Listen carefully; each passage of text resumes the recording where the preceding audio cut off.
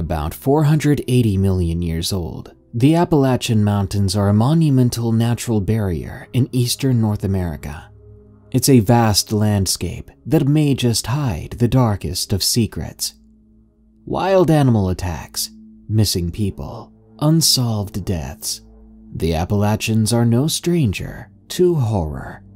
So, I hope you enjoy these allegedly true horror stories from the Appalachian Mountains. If you have a scary story of your own, share it with us at darkstories.org. I'm looking for stories from the Rocky Mountains or stories from the Ozarks.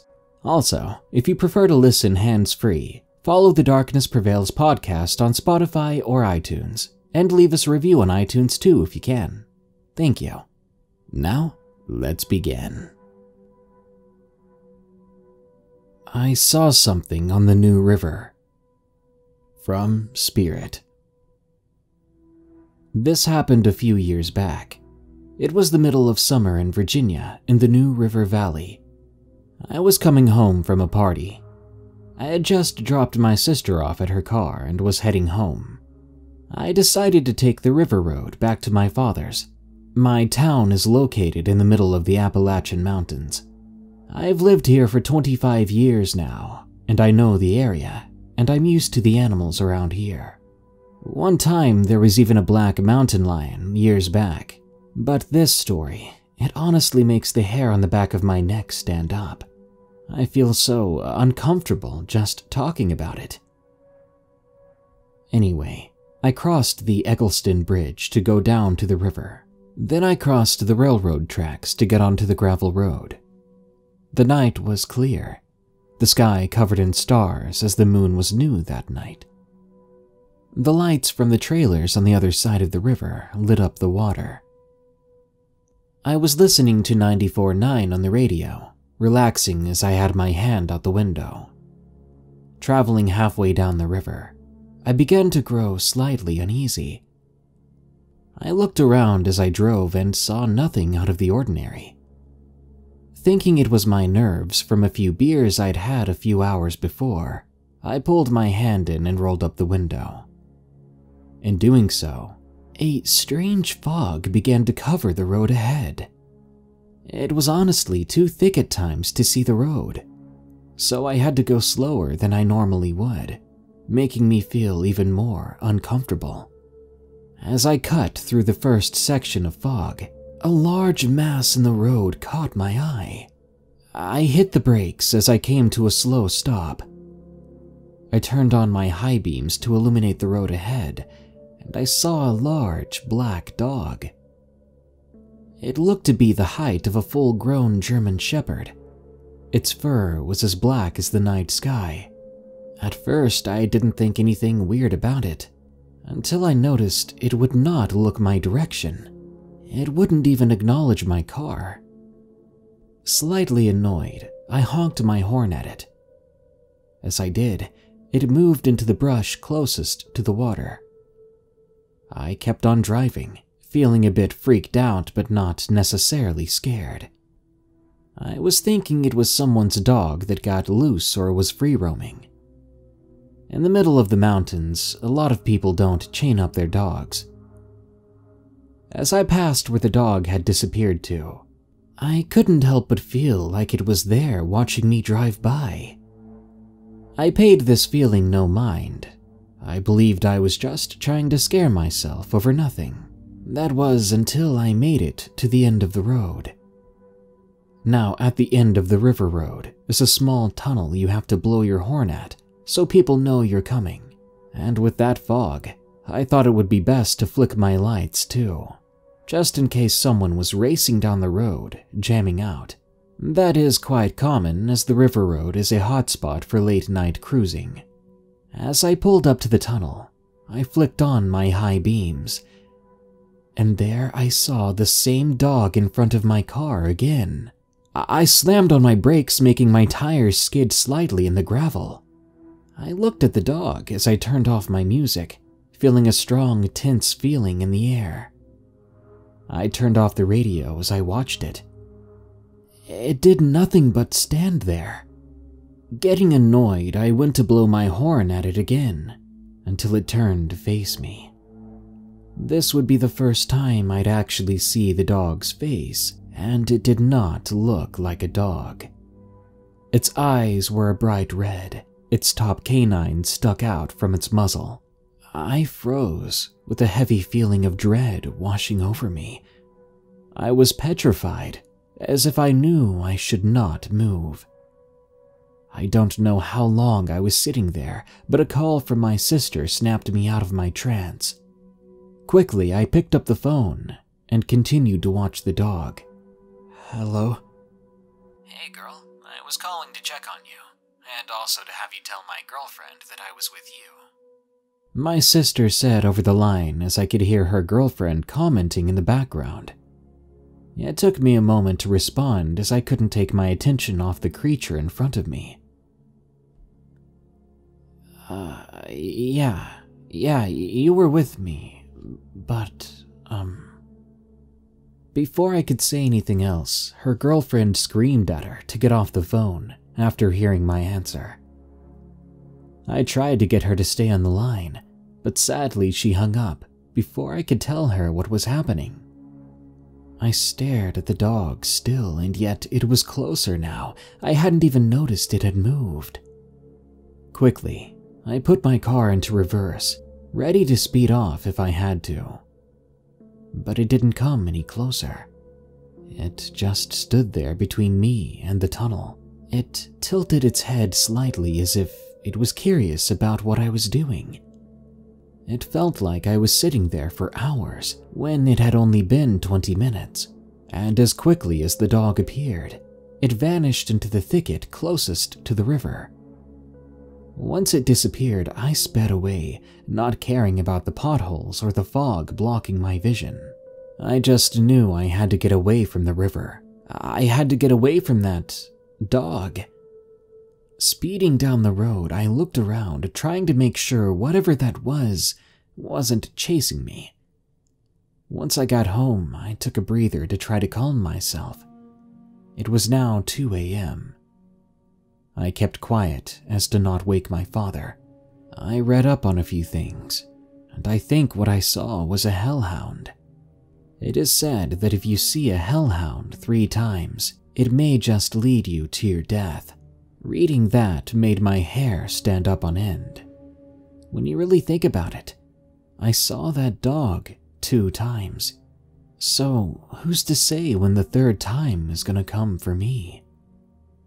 It's been six years since that night, and I haven't seen another dog like that, so I honestly don't know what to think. But sharing this story helps relieve some of the strain, and maybe someone can help me understand why I saw this thing. Specifically, why I saw it two times in such a short amount of time. Tales from a Forest Ranger from Mare Bear. I used to work as a forest ranger outside the small town of Blacksburg, Virginia. It's one of many tight knit communities that dot the line drawn by the Appalachian Mountain Range. In the four years I had that position, I received my fair share of odd calls. But what I'm about to tell you is pale in comparison to anything else I've experienced. My story contains moderate depictions of animal violence, so if you don't like that subject matter, I'd advise you to skip ahead. It first began on Tuesday. That was the first day of the week I was on duty. I remember I was sat down at my desk of the ranger post a quarter of a mile or so in the woods, drinking coffee. I was usually tasked with the maintenance of the trails surrounding the nearby camp area and enforcing bland regulations regarding firearm discharge and the likes. That's why it was surprising when a young couple stumbled into the building. The man dirty, covered in ash with clothes torn, and the woman in similar condition. They asked me for some help, the request that me and the other ranger on duty, Trevor, granted. We were confused as to why they came to the station, rather than calling either of us or emergency services to request first aid. I remember the woman distinctly. She had a stark English accent. She told us that they were both so caught up in running, they didn't even think about making a call. That made me and my partner raise an eyebrow, but we let them continue as we disinfected their wounds and applied rather amateur bandaging. As she alleged, they were on a hike away from camp when they were attacked by what they described as a walking tree. I was as confused as you probably are now. I think I laughed a little as I heard what she said. Trevor was the first to try to place a realistic lens over their story. You ran into a tree? No, no, it attacked us. It was moving. The woman was very passionate as she argued, but her boyfriend calmed her down a little after he saw the subtle looks of disbelief we wore. My only supposition at the time was that they maybe ran into a thicket of brambles without realizing it. Their wounds were very real, though. It appeared to have been inflicted by an animal of some kind. But there were no distinct bite or claw marks. I couldn't line it up with the typical predatory wildlife we saw around our area. Regardless, we let them file a report, if you could call it that. About an hour later, I escorted the couple back to their campsite and ensured they retrieved all their belongings safely. Something to note these parks have communal camping areas. Generally, you pitch a tent in a circle all around a central clearing, where six or seven other groups are situated. Oddly enough, though, we did see other people out and about, but not one came to ask what the issue was. If anything, they were quiet and tried to keep out of my way the best they could juxtaposed to the usual happy and friendly campers I meet out there. Under normal circumstances, we would have investigated the area for the predatory animal that the couple was attacked by to ensure there weren't any wildlife getting all too friendly with humans. However, they were so turned around, the best localization they could give us was a direction. Given that, and the ridiculous description of the assailant, we never followed up. The rest of Tuesday passed uneventfully, aside from me having to talk to an intoxicated fella who was urinating all too publicly. Fast forward to Wednesday. It's 11 or so in the morning, a decent chunk of time into my shift. Our outpost gets a call. An older male with a raspy voice informs us that this campsite is filled with daddies he clarifies that there's a whole bunch of dead animals in and around his fire pit before telling us, You'd better hurry. Yeah, I know. A weird call. Fearing the worst, I headed down to the camp area, which happened to be the same one that the couple from yesterday was situated at. I arrived unsure of what to expect. I met the guy outside his RV. Lo and behold, all around us were dead animals. There were at least 15 of varying species rabbits, squirrels, birds, too. As I recall, the biggest thing there was a coyote, which was taking his final sleep just outside the clearing. None of them had any visible injuries. What was odd, though, was the slight layer of soot that seemed to cover the coat of each animal, staining them an even shade of gray. I remember touching the coyote only to find the ashy residue on my fingertips. I had to call in to administration. Obviously, something was very wrong here. I believe they told me they were dispatching a team to conduct a water test to check for contamination. In the meantime, we had to clear out all the other campers, including the guy who reported it. I remember one hippie type dude really well. As I was telling him why he had to go, I offered that there was another campsite just a mile or so north. He told me something along the lines of, Nah, dude, I'm just gonna go back home. There's something real wrong with this place's mojo. Despite that campsite being closed, we still serviced the local trails, so I was back on duty the next day. It was almost entirely uneventful. We spent much of the early morning resorting our documents before it came time for my rounds. The walk from our station to the campground was boring, with no fresh litter to collect, given there were no people. When I finally got to the camp area, it struck me as lonely, almost like a ghost town. Since it was the first time in my career we had to close during a normally busy season, it felt very strange. I lapped the center of the camp area, not bothering to check out each individual site, before I headed back up another path, one that ran almost parallel to the one I came down. That's when I started to pick up a strange smell. It was like charcoal burning, but hotter, if that makes any sense. It almost stung to inhale. Since there weren't supposed to be any campers nearby, I decided to follow it.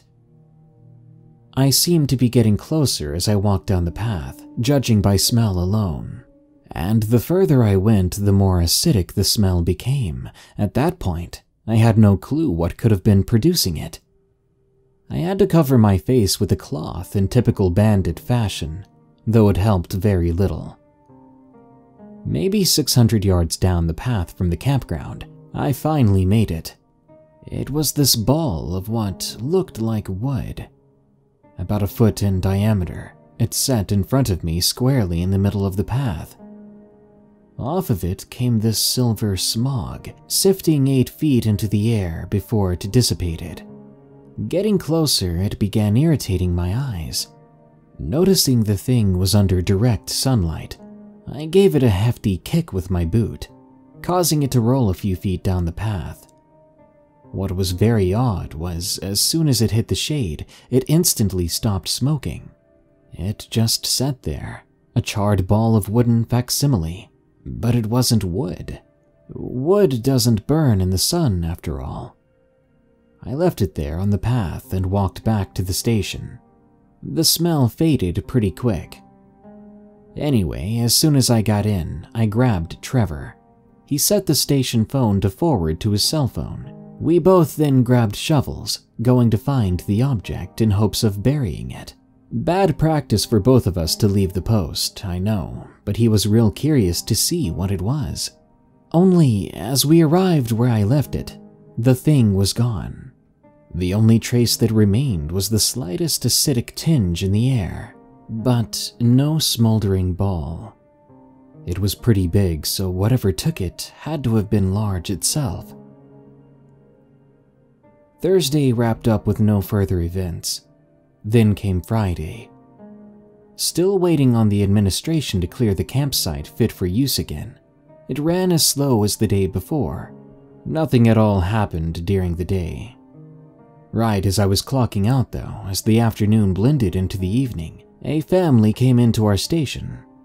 There was the mother, the father, and a little boy, maybe nine years old. To be honest, I don't remember my conversation with them nearly as well as with the couple from before. But to sum it up, they told me that they had been walking their dog on a nearby trail maybe an hour earlier, before it took off barking at something in the woods. They kept stressing how it never behaved like that, and they were eager to find it considering how low the sun was getting. So I agreed to help. Trevor said he'd follow up with me after the late shift arrived at the post.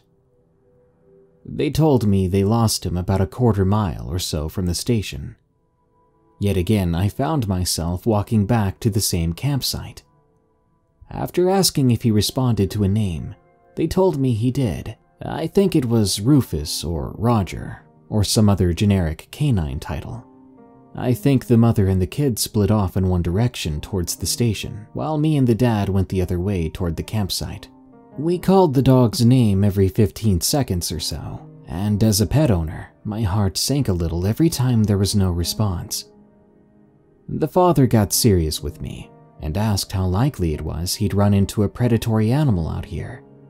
He told me the dog was a big Alaskan Malamute, and I told him that a mountain lion probably wouldn't mess with a dog like that unless it was protecting its young. I remember mentioning that a bear could take it on, but he doubted the dog would be stupid enough to challenge a bear. Regardless, bears really weren't too frequent at the base of the mountains. I was going to mention the suspected tainted water, but I decided against it, as it was on the far side of the campsite, so it could worry him unnecessarily. Maybe half an hour into our search, the mom called the dad. She told him they hadn't found anything, and the dad told her that we were still looking, and said if they didn't find him within the next half hour, They'd meet back up at the station and call it a night. I felt real bad after that. Then I called the dog's name as loud as I could. All of a sudden, way to our right, in the direction of the campsite, we heard this crashing. Suddenly, that gorgeous dog burst through the undergrowth, running up to his owner and ignoring me. He was moving quick but with a limp. Further, the white parts of his coat seemed to be stained gray, just like the animals from the clearing. The owner hugged the dog, wiping what seemed to be ash off on his pants. He asked me if I knew what the residue was, but I told him I had no clue. From the direction the dog came from, there was a second wave of crashing. It came closer to us and seemed to stop altogether a few feet into the thicket of trees. The sun was close to setting, but there was still enough light to see decently. Behind the trees, we made out a very strange shape. It seemed tall and thin. As we watched it move, there was this thick crackling sound, almost like a fireplace. It took one step towards us, and the guy, now holding his dog, shouted, Hey!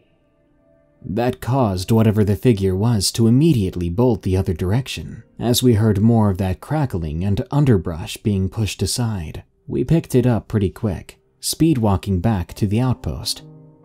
The dog's leg was injured, but it was in good spirits and limped along with us. Strangely enough, I picked up a little of that burning smell from before. I asked the guy if he smelled it, and he said yes, telling me it was like someone was having a bonfire. The night wrapped up with the couple meeting back up. The smile on the kid's face as he hugged the furry beast that was bigger than him really made my night. Trevor met me outside the outpost, and after filing a quick report, we did the 20 or so minute walk back to the parking lot together. Luckily, the night shift guys were real nice and did most of the overhead paperwork for us. On the walk, I told him about the figure we saw and the weird crackling sounds. He told me he never saw anything like it before. He asked if I think that's what the dog ran after, and I said something along the lines of, maybe. That was one huge dog, and that thing out there was not a bear. So, what kind of animal was it? Trevor was as confused as I was. Saturday finally came, my last day on duty until next Tuesday. I wasn't feeling great when I got there, only on five hours of sleep. Luckily for me, the nearby campsite still wasn't open, and the day droned on quick. I was snapped from my tired robotic work as our phone rang. Trevor picked it up. Listening for no more than two minutes, he told me he had to go. He didn't say anything beyond a family issue and left hurriedly. To be frank, this ticked me off, considering I was tired as heck. But the shift was almost over, and I thought about skipping my rounds at the campsite that afternoon, but decided against it. After all, the fresh air of the walks was the only thing keeping me awake. I remember using a sharpie to craft a very poor be back soon sign that I taped onto the station door as I went for my walk. It was really just a formality as I didn't expect anyone to come by within the 30 minutes I was gone. So down I went, back to the camping area. It was the middle of the afternoon, the sun still bright in the sky. It didn't stop me from feeling uneasy as I began to smell that all too familiar charcoal acid mix, though. It was modest as I worked my way down the path until I finally stepped foot into the clearing.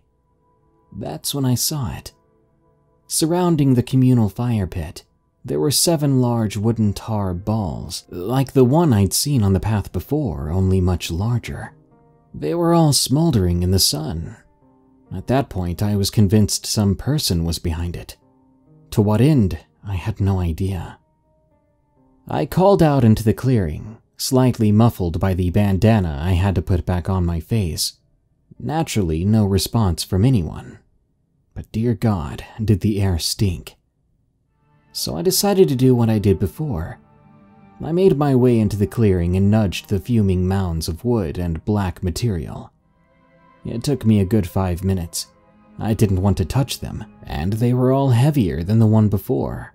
I finally got them all out of the sun and into the shade. I stepped back a few paces to inhale fresher air. They gradually stopped smoking. Having no clue what to do, I opted to do another ride up back at the station, making sure to mention the geometric formation. As I turned around to leave, though, I noticed something was wrong. It's that feeling you get when something isn't quite right, but you're unsure what. I looked at the forest in front of me. Nothing seemed amiss at first. I scanned the tree line and then I saw it. Blended in with the wood of the trees, much like a stick bug, there stood a man. At least, what looked like a man. It was spindly and thin, maybe nine or ten feet tall. Its body seemed to be a black wooden texture, with its limbs and torso outlined a deep brown. I just stared at it, mouth agape. I think it was attempting to camouflage itself, and when it realized I noticed it, it began to move. Its head was much like a bulb, crafted out of similar material to its body, yet it had no discernible features. It slowly climbed off the tree and out of the undergrowth, moving towards me. I was paralyzed with fear. As it moved, this ear splitting crackling noise played, much like the one from the incident with the dog.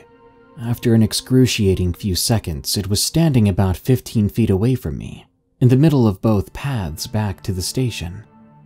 It was swaying back and forth as if doing some kind of dance.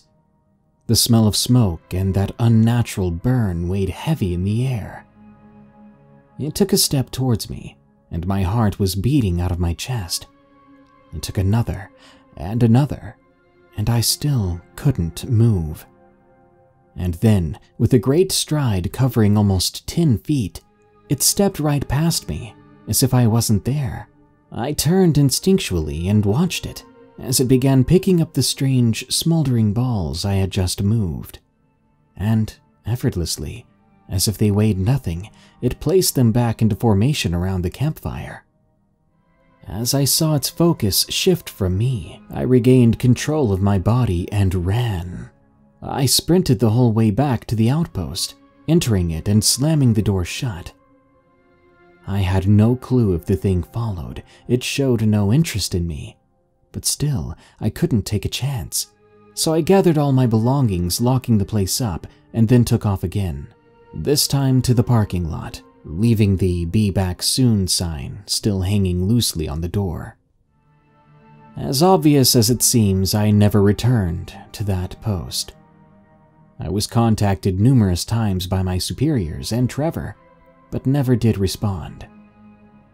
Eventually, a notice of termination arrived at my home. I don't believe I ever received my last paycheck either. Not that I care. Under no circumstance will I ever go back there. Call me a deserter or a coward, whatever you like. But know if you saw what I saw that day, and you saw the sheer inhumanity of that creature, you wouldn't go anywhere near that place. As far as I'm concerned, forests are strictly off limits to me now. You simply can't be sure what resides within. And the creature, well, I really have no clue what it was up to.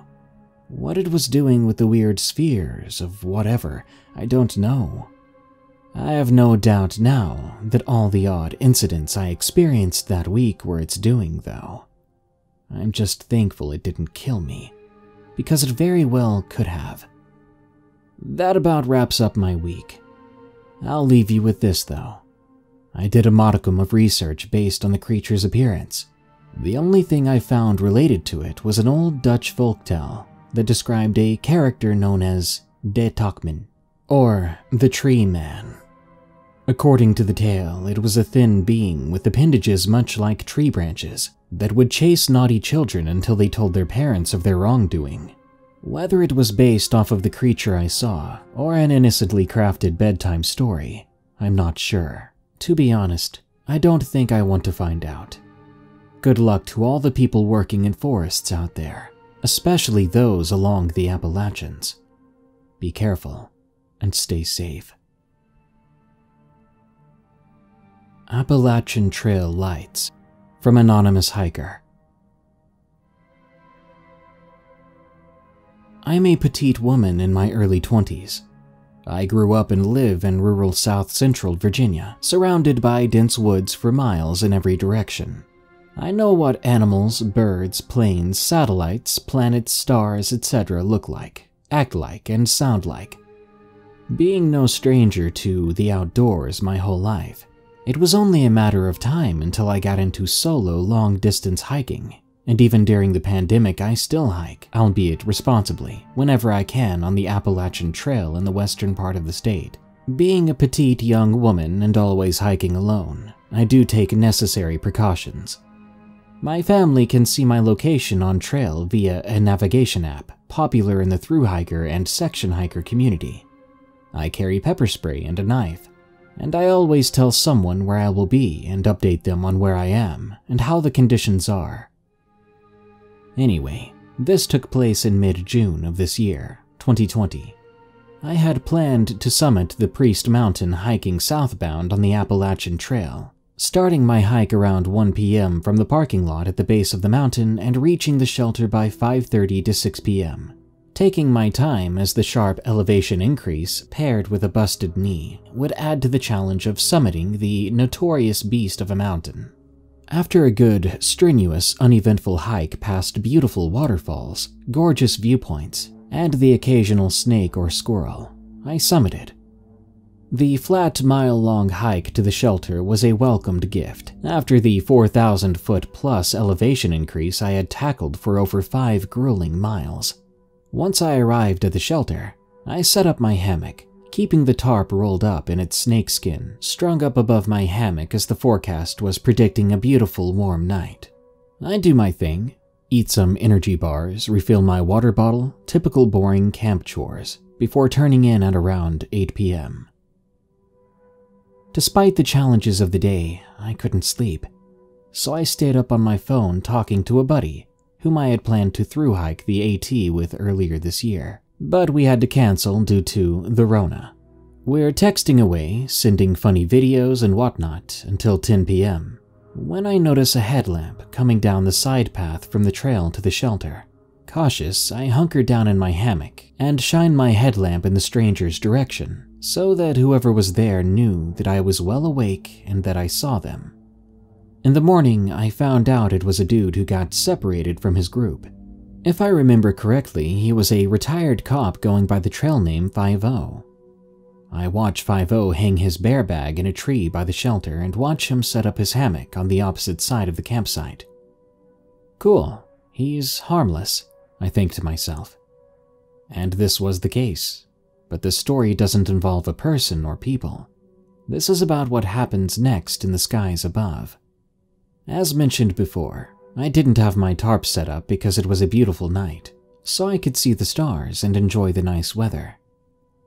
What I noticed first was that my cell service signal was beginning to act funny around 10:45 p.m. One moment I'd have LTE, then 4G, then 3G, roaming, no signal, and back to LTE. This cycle continued throughout the night until 4 a.m. A moment later was when I noticed it. A few of the stars in the sky appeared to be swiveling and shining very dim, soft spotlights, which didn't reach very far, but it was obvious that these weren't stars. They also weren't airplanes or helicopters. I couldn't hear any audible noise, and I'm 4,500 feet above sea level on top of a mountain, closer to any plane than someone on sea level. Assuming I was tired and therefore seeing things which weren't there, I kept watching fixating my vision between two branches of a tree, watching one of these weird stars do its thing, swiveling back and forth, shining its light. Then, all of a sudden, the sky turned bright red, then pitch black. Everything in the sky vanished. The woods went quiet. I attempted to text my mother out of fear that something was about to go down. Mom, I love you. There's something weird going on with the sky. The feeling that I shouldn't have seen what I just saw and that I was unwelcome quickly set in. Being familiar with the woods, I can tell when I've overstayed my welcome. But this was unlike anything I'd experienced in the outdoors before. The vibe I was sensing was mean, hateful, spiteful, even. The messages I sent to my mother and to my buddy didn't go through until hours later, as my cell signal was still going through its weird cycle of no service. About five minutes later, the sky turned red again and then went back to normal, with one huge difference. Half of the stars in the sky were missing. Not as if they changed positions in the sky. I know how the Earth rotates and changes the locations of stars and planets. I mean, half of the original stars I'd seen earlier were missing. I could still see notable planets, such as Venus, exactly as they were in the sky before this happened. Everywhere in the sky, which had one of those weird swiveling balls of light, was blank. The rest of the night I felt uncomfortable. So uncomfortable, in fact, that I pitched my tarp and slept with my pepper spray clipped to my sports bra. I could not get my mind off of what I just saw. It was very similar to a phenomenon I'd witnessed weeks before while driving home from the grocery store back home. I happened to look up at the sky, just as a stationary ball of light warp sped away at a pinpoint. That's the best way I can describe it, like in Star Trek, whenever the USS Enterprise goes into warp speed. It was exactly like that. No crazy colors, no weird shapes, nothing like that. In both of these instances, they were unassuming white, star like balls of light. Getting back on track the next morning was uneventful. I ran into 5-O's group and we all hiked down the mountain together to our cars in the parking lot below. I refused to mention what I saw the night before until I got home and logged into Facebook to share photos of my hike. Well, the peaceful parts of it. One Facebook group I was in was called All Women, All Trails, and someone had made a post a few days prior asking us about our weird experiences on the trail. This just happened to appear right at the top of my newsfeed, so I shared the story which I have now shared with you, not thinking I would get a response. Thirty minutes later, I received an alert that someone had replied to my comment. The woman that replied claimed to live not too far from the Priest Mountain and shared a similar experience she had one night, as she, her husband, and their neighbors were having a bonfire. Granted, they were admittedly under the influence, but the parallels between my story and the experience she shared with me were described by her as weird. Apparently, that night when she, her husband, and their neighbors were having a bonfire, they all saw a bright red light shoot straight up into the sky from the direction of the mountain and felt the same discomfort I experienced. Interpret this how you will. I have nothing to gain from lying to strangers on the internet. I feel it's my duty to the hiker community to share my weird experiences in the Appalachian Mountains. I'm not the first, nor will I be the last person to experience something weird. And this isn't even as insane as what other hikers have admitted to seeing or experiencing. If anyone else has experienced something weird on the Appalachian Trail, specifically in the Alto Wintergreen Resort area, please share your story. There's something weird going on in the skies above popular hiking trails, and it needs to be openly discussed.